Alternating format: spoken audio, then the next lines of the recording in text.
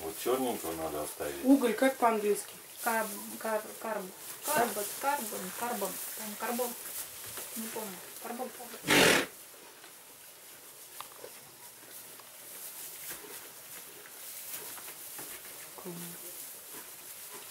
Еда, еда, ну, еда. Вот хорошо, пока не возле перегородки. Ну да,